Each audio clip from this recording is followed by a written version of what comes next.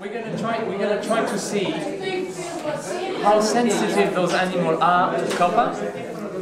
Do you know what is copper? Yeah, copper sulfate. What? Yes. Do you know what it is for? You can use it as a weed killer. You make bird. kill weeds, or it's, it, it's, it's you, we use it in our body. You know, organisms use it for their metabolism. So we're gonna see how sensitive they are, okay? And we're gonna try to see what concentration to kill them. Okay, so we're gonna expose those sea monkeys to six concentration of copper, okay? So here's your plate, and you're gonna fill up those wells by those chemicals here, see?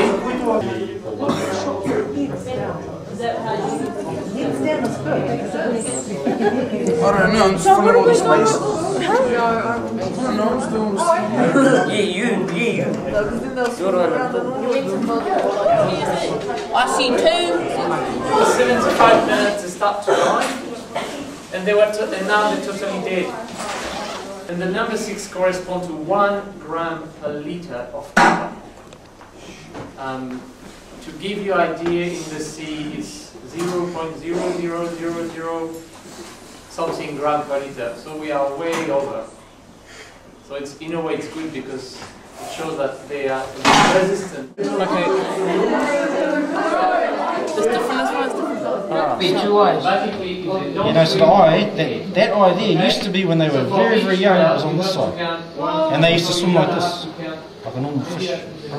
But as they get older, they, they flatten out and the eye actually moves around, so it sits on top. The other thing I want to do is um, just show you how we age them.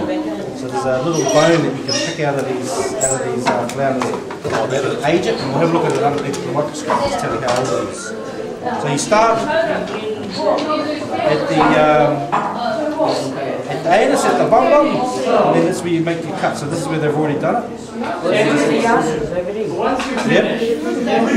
That's where the coital is. The coital is right there. So we're going straight into the Can we keep it? into the stomach cavity where, which holds a whole lot of all of the organs. This is the reproductive organ. And because it is this this uh, because of it's this size, this is a female. This is how we can tell what what sex the fish is.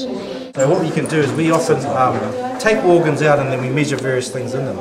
One of the things that, that can happen is that um, there are certain class of contaminants or pollutants that actually affect the, um, they can actually make um, male characteristics in the female gonads. Okay, so you see sperm cells inside the ovary. So it's, they call it intersex. So it's like a female, but it's got male characteristics. And likewise in males as well. They, they have, um, so there's a lot of things that you use in um, so pharmaceuticals, the pills and things that some people take have those sorts of effects. Um, a lot of chemicals like detergents, they're very, they act in a similar way.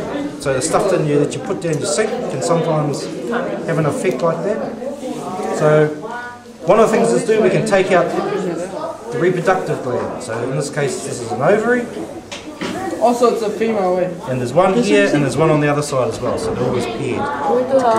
Yeah, no, I'm showing you what to do in the first instance. You need to watch closely. Otherwise, you'll butcher a female. And what happens is that depending on which time of the year that you um, catch your your patiki, sometimes the eggs you actually see them. There'll be a whole lot of eggs in here. At the moment, you see it's, it's not gravid, what they call gravid, where it's bulging, and, the, and you can see the female because this will be bulging out like this. That means she's ready to lay her eggs. At the moment, she's a, a little bit away yet, but her, you can see the ovaries actually getting quite big. Is there another one? That's another one. See, they're always paired. See, it's on the other side. There's another cavity.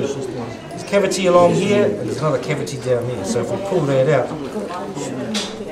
then um, yeah, you'll see there's there'll be two ovaries. Now we can, if you if you know at what time of the year that you get your uh, female fish, you can weigh you can weigh this, and you can get an um, um, you can create a, an index which gives you a number, which then you can compare.